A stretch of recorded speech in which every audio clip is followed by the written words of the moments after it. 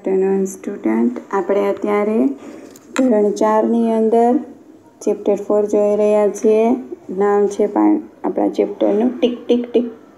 હવે એમાં આપણને પ્રશ્ન પૂછ્યો છે કે ઘડિયાળ ઘડિયાળ આપી છે, બરાબર? એ ઘડિયાળમાં સાચો સમય કયો છે? તેના ઉપર રાઉન્ડ કરવાનો. હવે આપણને સાચો સમય કયો છે? એના ઉપર રાઉન્ડ કરવાનો છે. પહેલામાં એ છે બરાબર બાર વાગ્યાનો. બાર ને ત્રણ. બીજો આપ્યો છે બાર ને પંદર. ત્રીજો આપ્યો છે ત્રણ. તો એમાં સાચો શું આવશે વિદ્યાર્થીઓ? ત્રણ. એટલે આપણે ત્રણ ઉપર રાઉન્ડ કરવાનો છે. એના પછી આપ્યો છે બીજો. તો બીજામાં જુઓ વિદ્યાર્થીઓ.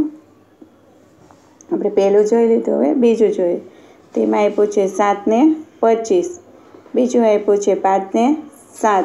અને ત્રીજું આપ્યું છે પાંચને પાંત્રીસ. તો એમાં કયું આવશે? પાંચને પાંત્રીસ. એટલે પાંચને પાંત્રીસ ઉપર રાઉન્ડ કરવાનું છે. એના પછીનું આવ્યો છે વિદ્યાર્થીઓ, હવે તમને ઘડિયાળમાં જોતાં તો આવડી ગયું કારણ કે આપણે ત્રીજામાં પણ જોયું અને ચોથામાં પણ જોયું. હવે આપણે આ ત્રણેયમાંથી સાચો સમય પસંદ કરવાનો છે. ત્રણને પાંત્રીસ, સાતને ત્રણ કે સાતને પંદર. તો એમાં આવશે સાતને પંદર. હવે આપણે એના પછીનો જોઈએ. એમાં આપ્યું છે સાત દસ, બે પાંત્રીસ કે સાતને બે? તેમાં આવશે સાતને દસ. હવે એના પછીનો આપણે જોઈએ ઘડિયાળમાં. તો એમાં જોઈએ પાંચને વીસ ચારને પચીસ કે ચારને પાંચ? તો એમાં આવશે ચારને પચીસ. હવે એના પછીનું જોઈએ દસને નવ નવ પચાસ કે દસ પિસ્તાળીસ? તો દસ પિસ્તાલીસ હવે વિદ્યાર્થીઓ, આપણે સ્વાધ્યાય પોથીનું પેજ પહેલું જોઈ લીધું, બરાબર? ચૌદમા પાઠનો પેજ નંબર એક. હવે આમાં તો તમને કંઈ પ્રશ્ન નહીં હોય, કારણ કે તમને ઘડિયાળમાં જોતા આવડે છે અને તેના ઉપર રાઉન્ડ જ કરવાનો છે, એટલે આવડી જાય.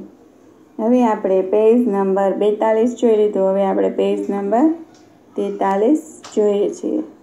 હવે વિદ્યાર્થીઓ, તમે પણ સ્વાધ્યાયપોથીનું પેજ નંબર તેતાલીસ કાઢજો. હવે એમાં આપણને શું કીધું છે?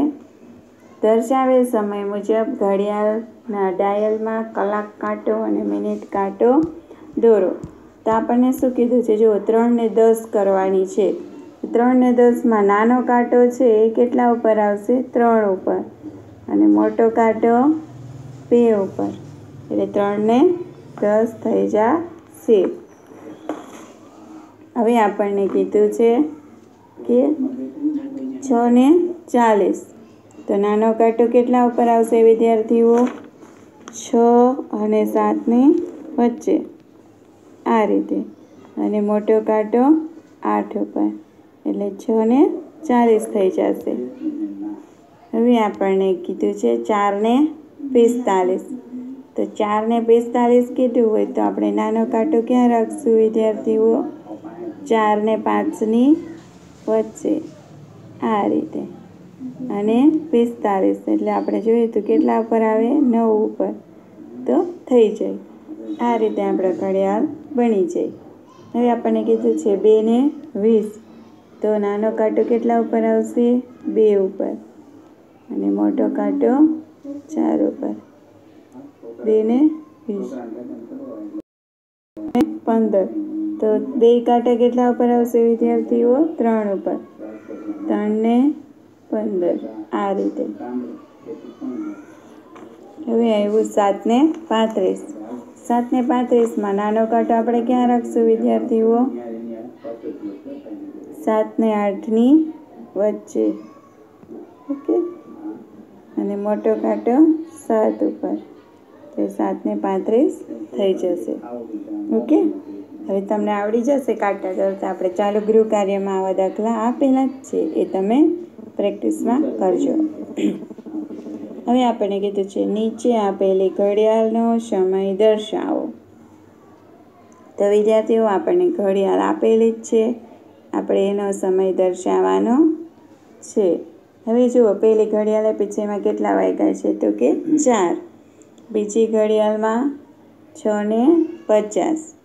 ત્રીજીમાં ચોથીમાં બે ને વીસ, પાંચમીમાં પાંચને પચીસ, છઠ્ઠીમાં દસ, સાતમીમાં એકને ત્રીસ, આઠમીમાં ત્રણને પાંત્રીસ, નવમીમાં બેને ઓકે, વિદ્યાર્થીઓ, આપણે પેજ નંબર બેતાલીસ અને તેતાલીસ સમજી લીધા.